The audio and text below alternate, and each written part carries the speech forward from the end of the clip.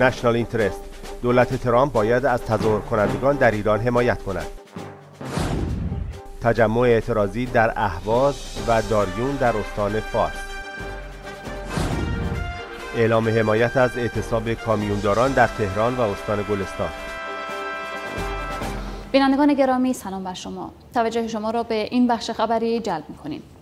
پروفسور ریمون تنتر عضو پیشین شورای امنیت ملی آمریکا طی مقاله‌ای که امروز در نشنال اینست منتشر شده است نوشت به رغم تلاش‌های تهران برای خونسا کردن تظاهر کنندگان مردم خواستار ترد آخوندهایی هستند که از حمایت مردمی برخوردار نیستند.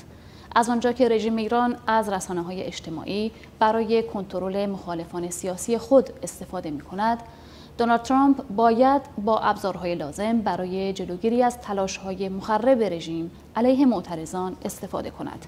انجام این کار به مردم ایران که به دنبال تغییر رژیم هستند کمک خواهد کرد. کارگران گروه ملی صنعتی فولاد اهواز امروز برای دومین روز متوالی تجمع اعتراضی برگزار کردند. همچنین جمعی از دامداران شهر داریون در استان فارس در اعتراض به افزایش نهاده های دامی و شرایط وخیم شغلی و معیشتی خود در مقابل اداره کشاورزی رژیم در شیراز تجمع کردند. تجمع کنندگان تراکت هایی در دست داشتند که شعارهای آخوند روحانی را به تمسخر گرفته بودند.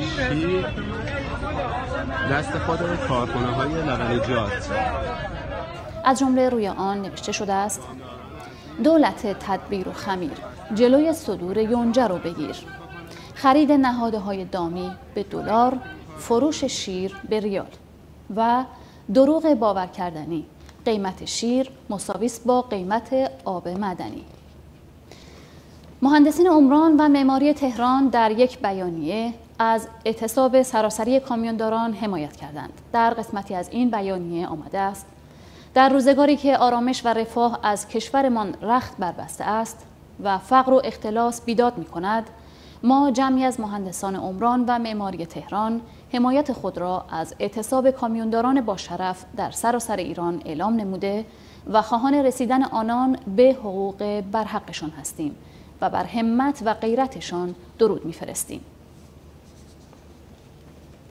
جمعی از بازنشستگان استان گلستان از اعتصاب سراسری کامیونداران حمایت کردند. در قسمتی از این بیانیه آمده است هرچند رژیم ددمنش سعی در سرکوب اعتصاب رانندگان کامیون دارد ولی با اتحاد و همدلی و مقاومت رانندگان و کامیونداران شجاع نه تنها راه به جایی نبرده بلکه در حال عقب نشینی است. ماموران جنایت پیشه نیروی انتظامی رژیم با شلیک مستقیم به سمت خودروی دو هموطن بلوچ باعث کشته و مجروح شدن آنها شدند. این جنایت اصر روز گذشته در محور مهرستان سراوان واقع در استان سیستان و بلوچستان به وقوع پیوست و دو سرنشین خودرو مورد اصابت گلوله قرار گرفتند.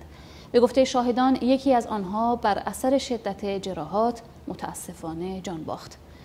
پیش از این نیز صبح روز جمعه چهارم خرداد ماموران جنایت پیشه رژیم دو جوان بلوچ اهل دشتیاری را به قتل رساندند.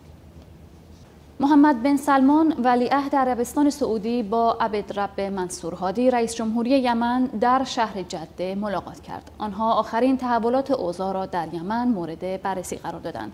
اسکای نیوز گزارش داد شبه نظامیان حوسی وابسته به رژیم ایران که ضربه های سنگینی را از نیروهای ارتش ملی و مقاومت مردمی یمن دریافت کرده اند به سوی کوههای منطقه گریختند این در حالی است که نیروهای ائتلاف عربی به 6 کیلومتری شهر الهدیده عمده ترین منطقه تحت کنترل شبه نظامیان حوسی رسیدند. بینندگان گرامی این بخش خبری در اینجا به پایان رسید. با تشکر از همراهی شما شما را به خدای بزرگ سپاریم. خدا نگهدار.